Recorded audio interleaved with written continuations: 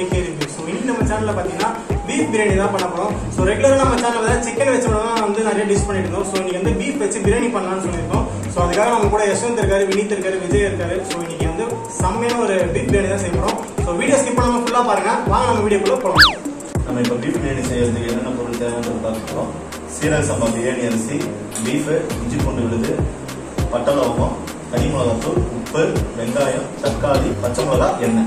ஒரு kilo beef biryani செய்ய போறோம். அதுக்கு நம்ம வந்து ஃபர்ஸ்ட் ஒரு கிலோ பீஃப் வந்து மஞ்சள் உப்பு போட்டு வாஷ் பண்ணி வச்சிருக்கோம். ஒரு கிலோ சீரக சம்பா அரிசி எடுத்திருக்கோம். அடுத்தது வந்து 200 எம்எல் நல்லெண்ணெய் ஆட் பண்ண போறோம். நெக்ஸ்ட் ஆனியன் 400 கிராம் ஆட் பண்ண போறோம்.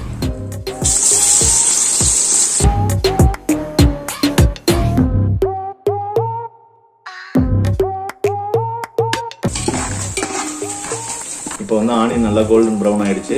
இந்த ஸ்டேஜ்ல நம்ம புதினாவும் கொத்தமல்லியும் ஆட் பண்ண போறோம்.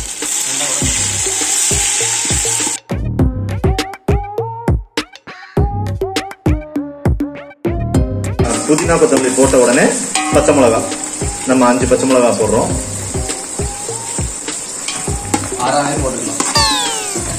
ஆறு பச்சை மிளகா சம்டைம்ஸ் இந்த மாதிரி என் வாயை கலருவாங்க.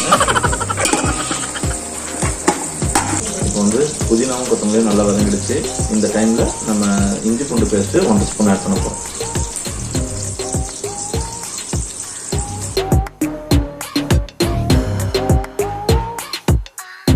இஞ்சி பூண்டு பேஸ்ட் ஆட் பண்ணி அந்த லாஸ்ட் மில்க் போனதுக்கு அப்புறம் நம்ம ரெட் சில்லி பவுடர் ரெண்டு ஸ்பூன் ஆட் பண்றோம்.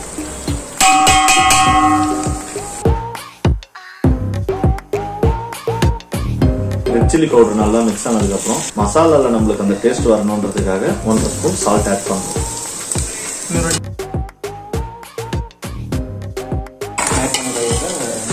இப்போ சால்ட் ஆட் பண்ண உடனே தக்காளி நானூறு கிராம் வெங்காயம் போட்டதுனால முந்நூறு கிராம் தக்காளி போடுறோம்.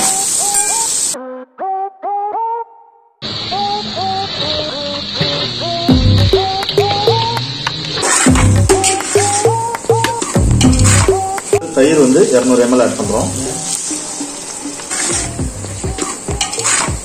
இப்போ வந்து நம்ம எல்லாமே ஆட் பண்ணியாச்சு. எண்ணெய் பா- பார்த்துட்டீங்கன்னா மேலே உங்களுக்கு தெரிஞ்சு தனியாக வந்திருக்கு. இந்த டைமில் நம்ம கறி ஆட் பண்ணோம்னா கரெக்டாக இருக்கும்.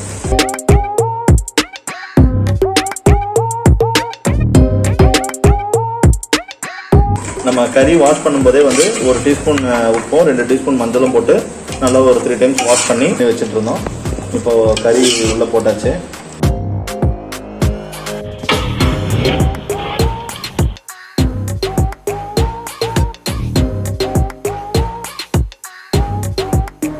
கறி போட்டு மசாலாவோட நல்லா மிக்ஸ் ஆன உடனே நம்ம தண்ணி ஆட் பண்ண போறோம். தண்ணி எவ்வளவுனா ஒரு கிலோ அரிசிக்கு ஒன்னே கால் லிட்டர் தண்ணி ஆட் பண்ண போதுன்னு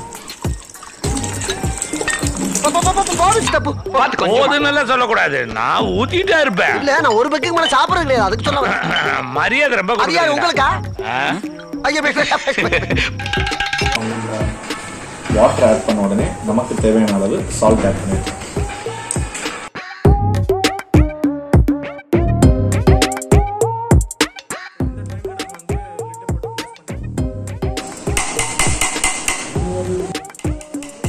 சால்ட் ஆட் பண்ணதுக்கப்புறம் கறி நல்லா வேகிறதுக்காக நம்ம twenty to twenty five minutes தட்டு போட்டு மூடி வேக வச்சிடணும். இப்போ நம்ம தட்டு போட்டு மூடினதுக்கப்புறம் நல்லா கொதிச்சு வந்துருச்சு. இந்த டைமில் நம்ம ஒரு கிலோ அரிசி சீரக சம்பா அரிசி ஆட் பண்ண போகிறோம்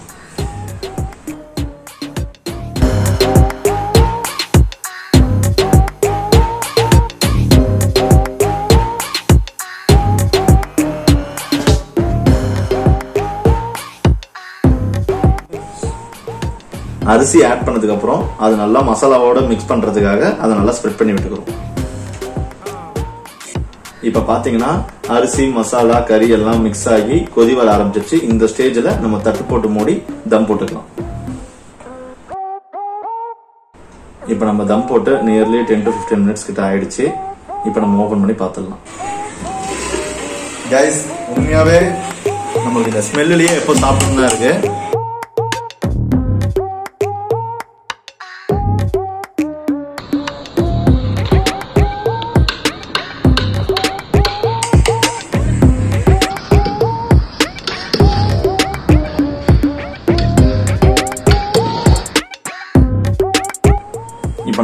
போட்டு எடுத்ததுக்கப்புறம் மசாலாவை அடியிலேருந்து எடுத்து நல்லா கிளறி விடணும். ஏன்னா பிரியாணியில் வந்து மசாலா மிக்ஸ் ஆகிறது தான் மெயின் இப்போ நம்ம இது சீரக சம்பா அரிசின்னவோ நம்ம தைரியமாகவே பண்ணலாம். அந்த அரிசி உடையும் குலையுன்ற அந்த ஒரு பயம் வேணாம் நம்மளுக்கு.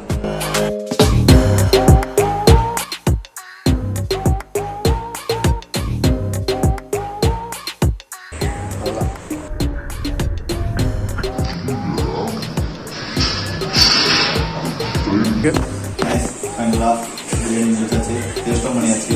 நாங்கள் எதிர்பார்த்ததை விட நல்லாவே வந்திருக்கு. பிரியாணி டேஸ்ட்டு நாங்கள் ஆல்ரெடி சிக்கன் பிரியாணி பண்ண எக்ஸ்பீரியன்ஸும் இது நல்லாவே வந்திருக்கு. ரைஸ்லாம் வந்து பார்த்துக்கிட்டிங்கன்னா தனித்தனியாக அந்த ஒரு உதிரி உதிரியாகவே இருக்குது நாங்கள் லாஸ்ட் டைம் பண்ண மிஸ்டேக்கே வந்து அதுதான். ரைஸ்லாம் ஒரு மாதிரி இதுவான மாதிரி ஜம்மான மாதிரி இருந்துச்சு. இதில் வந்து நல்லா உதிரி உதிரியாக நல்லா வந்திருக்கு.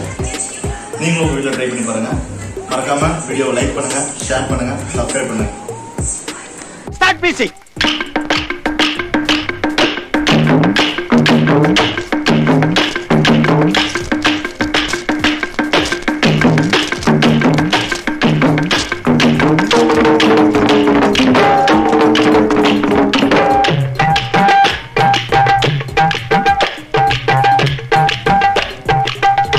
Mupas?